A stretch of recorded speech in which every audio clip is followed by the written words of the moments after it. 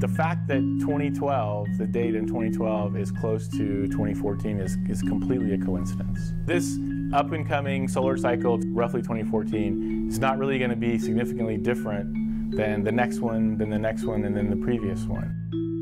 The sun is what we call an active star and it has a cycle of activity. Over 11 years we go to higher activity and back down to lower activity. And so this 11 years is fairly steady and it's been happening through time as far as we can tell.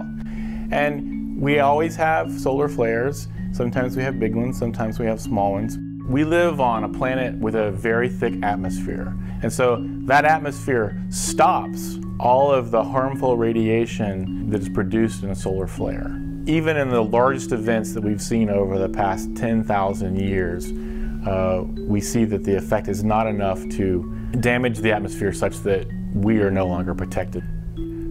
Coronal mass ejections are happening on the sun all the time and they hit the earth once or twice a week, sometimes more, and in general the, the effects are minimal. If we have a really big one, you can have very strong aurora, but then it can affect satellites and power grids. And so these are the kind of things that people who run these systems know about.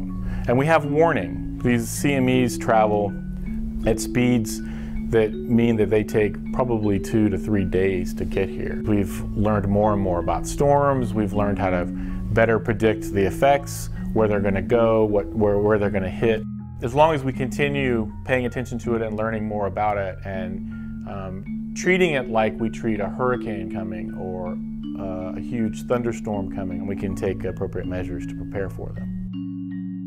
We understand the sun well enough with all of the technology and all the science and all of the many uh, spacecraft that we have that are monitoring it 24 hours a day, seven days a week, to know that this superstorm that's going to wipe out the earth simply isn't going to happen.